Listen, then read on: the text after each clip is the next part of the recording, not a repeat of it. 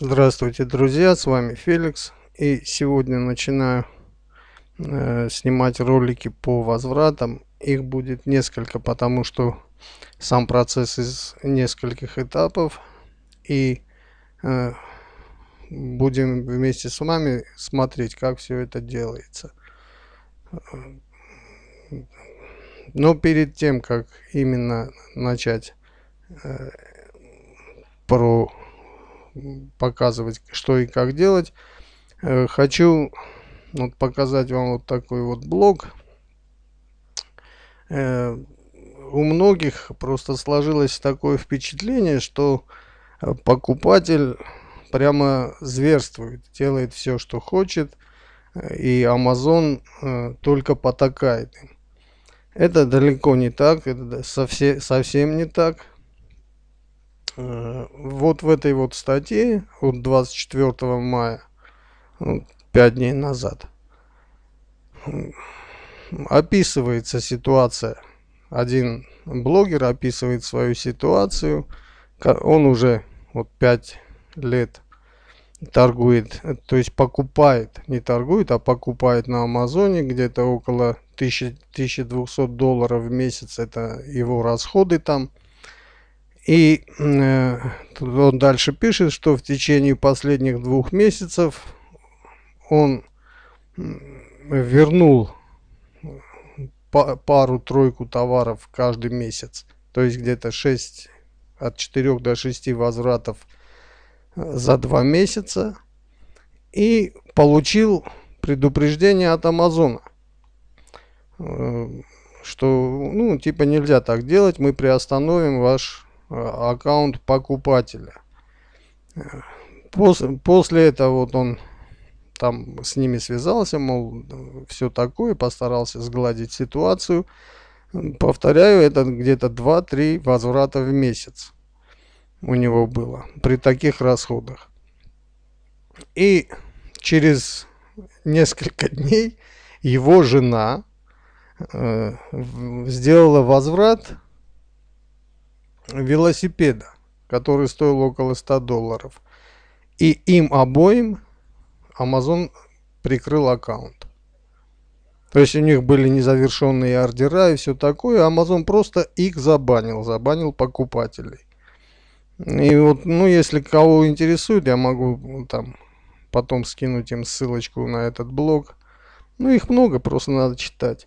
Ну, вот, например, один другой комментарий – я, пишет человек, трачу где-то около 30 тысяч в год на Амазоне и все равно был забанен. Так что это ошибочно считать, что Amazon требует только с нас. Amazon требует и э, приличного поведения покупателей. Ну, как бы то ни было, в любом случае мы, как продавцы, вынуждены время от времени принимать возвраты. Самый такой нелепый случай, нелепая такая причина такая. Это мне больше не нужно. Вот у меня возврат. Сам процесс начинается именно с того, что мы получаем на почту вот такое вот уведомление. Ну, покупатель по разным причинам может отказаться, в том числе и без причины. Вот это и есть без причины. Это вполне приемлемо на Амазоне и вообще в торговле. Э, не понравилась вещь, возвращают в магазин. И э, алгоритм действий в принципе расписан уже в самом письме. У нас есть три варианта как продавцов авторизовать возврат, вот пункт первый.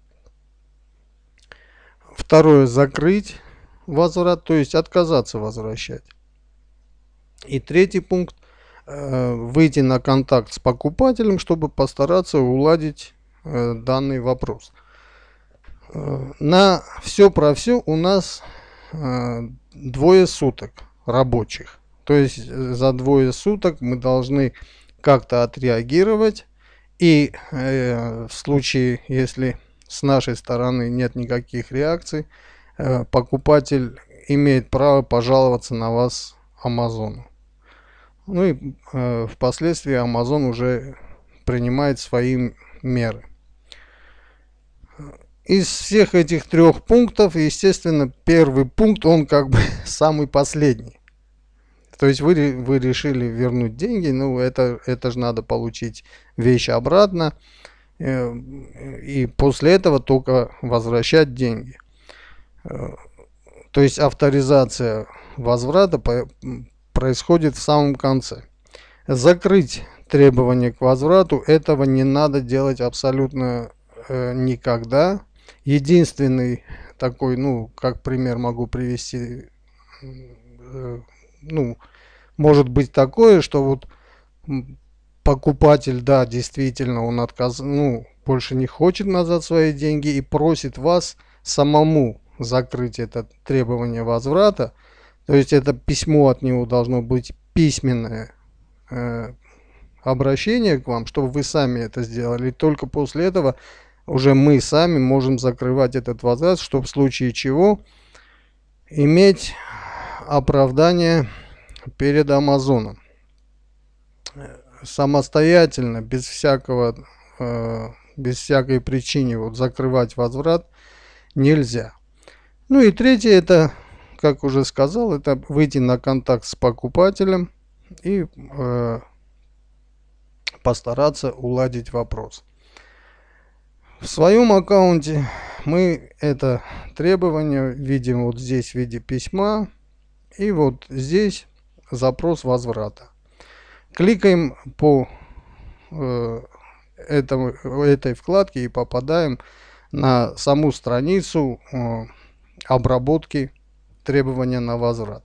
Перед тем, как э, начать это, надо обдумать что вы хотите сделать. Ну, в принципе, самое такое, самое подходящее, это э, сконтактировать э, с покупателем.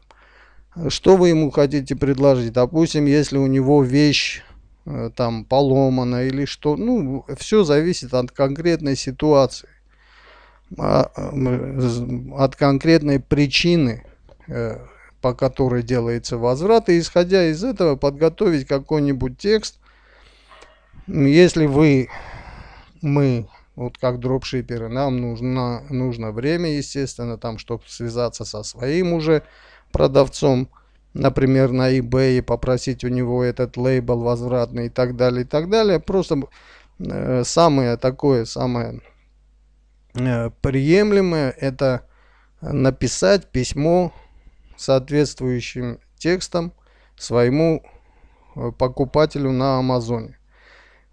И отсюда уже увидит Amazon, что вы начали процесс, начали действие, начали что-то предпринимать для того, чтобы уладить этот спор. В моем конкретном случае я просто вот составил такой небольшой текст. В нем говорится, что мол, я могу, может предложить вам небольшую скидку и э, закрыть эту проблему. Если нет, дайте мне знать чтобы я выслал вам э, именно возвратную эту этикетку, вот эту наклейку э, с адресом и прочим. То есть я со своей стороны начинаю процесс, даже не дожидаясь вот этих двух суток, оно и не надо в принципе, двух рабочих дней. Еще раз подчеркиваю, все отчеты, все вот эти вот сроки, они э, считаются по рабочим дням. Ну и я так притормозил, чтобы ролик снять. Значит, делаем, что мы делаем? Вот кликаем вот по этой вот вкладочке и попадаем на страницу э, Manage Returns, то есть ну, создание возврата, то есть э, начало возврата. Вот о той кнопке, о которой я говорил, вот эта желтая кнопка, ее не, нажимаем, то есть переходим по ней и продолжаем действие в самом конце. в самом конце. Пишем вот через эту кнопочку. То есть мы начинаем этот процесс вот через эту кнопку. Дубль письма уйдет То есть Amazon, он увидит, что у вас есть реакция, и минусом это на аккаунт не ложится. Вы в установленный срок вышли на контакт с покупателем и предложили ему то, что предложили. И по завершении всех этих ваших передряг, скажем так, уже авторизуется сам возврат через желтую кнопку. Это вот в письме, чтобы вы еще раз увидели, вот это вот первый пункт, он делается в последнюю очередь в последнюю очередь. Итак, кликаем вот на контакт Buyer.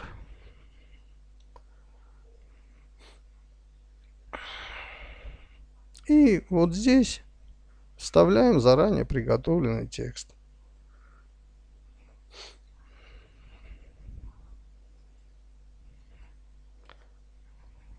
Вставить как обычный текст. Все, больше от нас на данном этапе ничего не требуется. Вот ничего не требуется. Здесь выбрать э, ну, тему, э, о которой э, идет речь, ну, о возврате. Ну, вот так. Выберем, выберем о возврате и отправим письмо.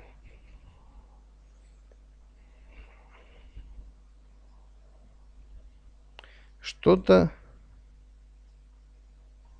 А.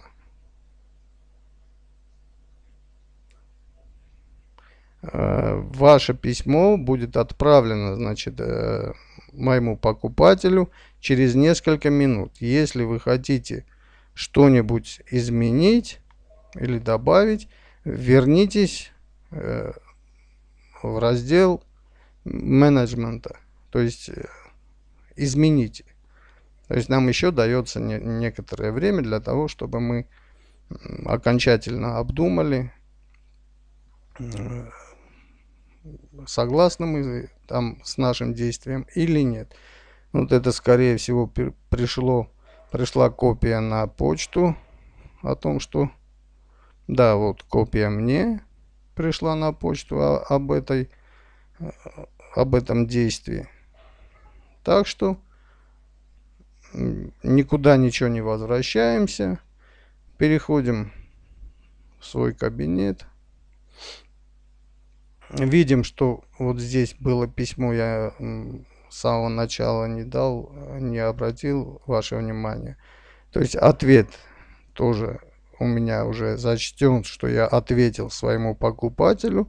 Сам возврат, само требование еще остается, но то, что я вовремя связался и вовремя ответил своему покупателю, мне зачтено.